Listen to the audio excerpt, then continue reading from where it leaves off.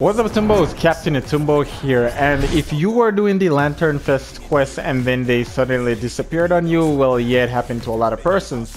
So we should get a reward called the Twilight Mosaic.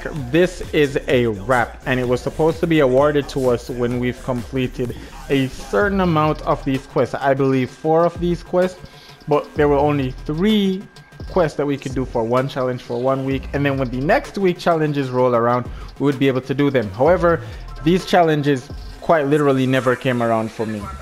I don't know. Maybe it came around for other persons but just never came around for me. So eventually what happened is that once you've done uh, all of the challenges to get the first reward epic will be granting you the wrap for free. I got the wrap for free. I didn't do anything extra special as Jamins told me that I should not do all the challenges so that when the next week challenges roll around, I'll actually have challenges to actually complete for that. So I end up getting it. I hope other persons got it too. And if you did, please leave a comment down below. And if you didn't, also please leave a comment down below. I'm pretty sure Epic is working hard to try to reward this to everyone who did participate in the Lantern Fest. So look forward to getting this. I'm probably gonna find a combo that i can wear this with really soon.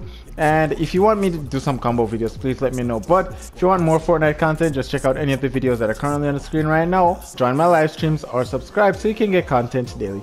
Captain atumbo stay one but atumbo and take care